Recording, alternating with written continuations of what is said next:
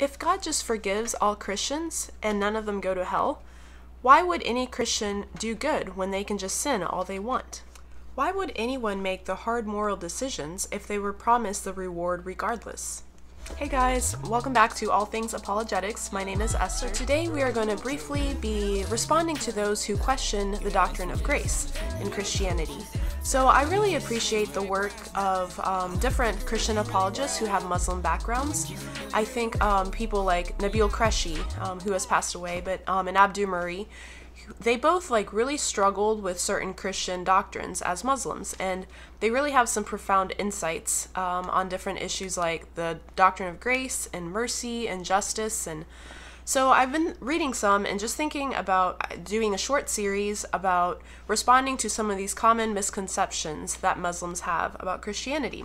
And today um, we wanted to dive into this notion of grace. So let's get into this. So I think there are three good points um, when looking at these questions. The first one that I want to explore just briefly is the seriousness of sin. So let's begin with the beginning. Um, God exists as three persons who love each other perfectly. And so, out of this love, God created mankind, that we also might love God. So, in order for this love to be valuable, it must be voluntary. So, God gave man the choice to love him or to reject him. When man disobeys God, it is tantamount to rejecting God. In rejecting the source of life, we bring death upon ourselves. So Romans 3:23 says that the wages of sin is death, but the gift of God is eternal life through Christ Jesus our Lord. So I address the seriousness of sin in another video. I will try to link above here.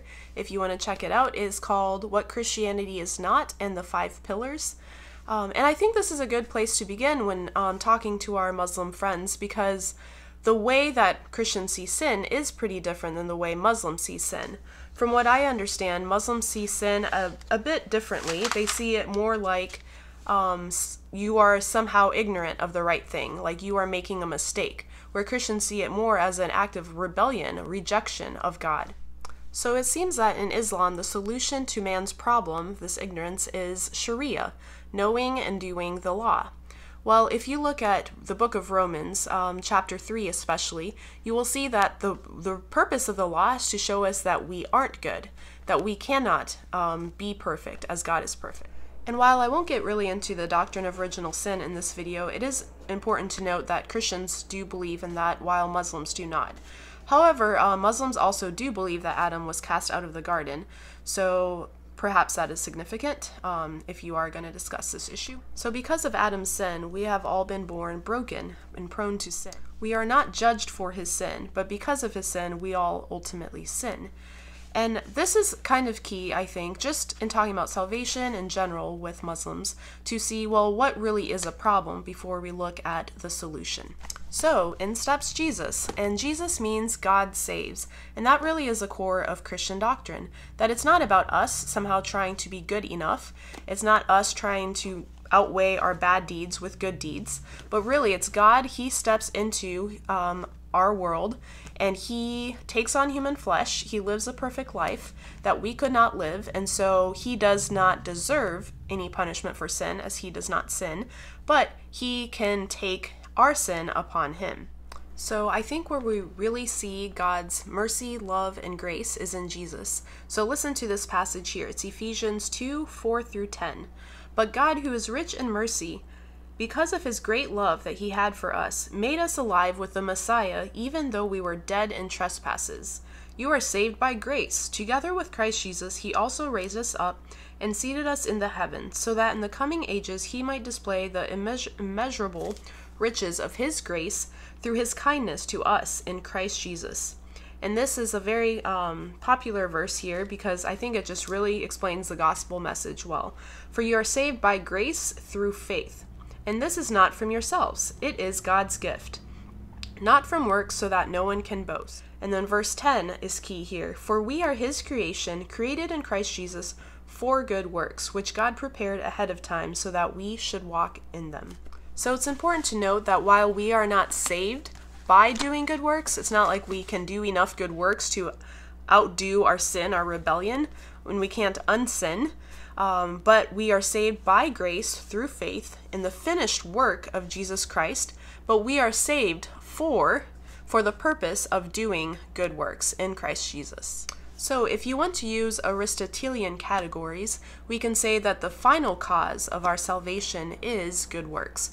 We are not saved by good works, but we are saved for the purpose of those good works.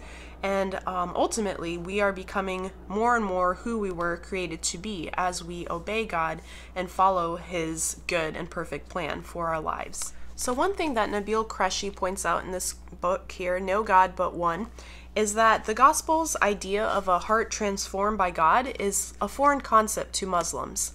So here's a passage that I thought maybe would be good to point out to your Muslim friend, um, just so they can really grasp like what it what is happening when you do come to Christ.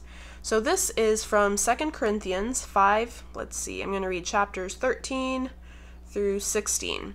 It says here, For if we are out of our mind, it is for God. This is Paul writing, the Apostle Paul. If we have a sound mind, it is for you. This is key here. For Christ's love compels us, since we have reached this conclusion. If one died for all, then all died. And he died for all, so that those who live should no longer live for themselves, but for the one who died for them and was raised. From now on, then, we do not know anyone in a purely human way. Even if we have known Christ in a purely human way, yet now we no longer know him in this way. Therefore, if anyone is in Christ, he is a new creation. Old things have passed away, and look, new things have come. Everything is from God, who reconciled us to himself through Christ, and gave us a ministry of reconciliation. So, anyways, um, if you want to continue reading this passage, 2 Corinthians 5, I highly recommend it. So, as Paul says here, Christ's love compels us to live for God, and we are new creations. The Holy Spirit is working in us, helping us want to live for God. And I think another thing that is also worth mentioning is um, that as Christians, we also see God as a loving father. And so this might be a little bit different than the way maybe your Muslim friend views God. So, a perfect father would love his children no matter what he does, and mercy and justice are expressions of God's perfect love. God offers mercy for everyone who has sinned while also demanding justice for every sin ever committed. He does this by offering to bear the consequences of our sins himself. The consequences of our sin is death, and God is willing to die in behalf of all his children.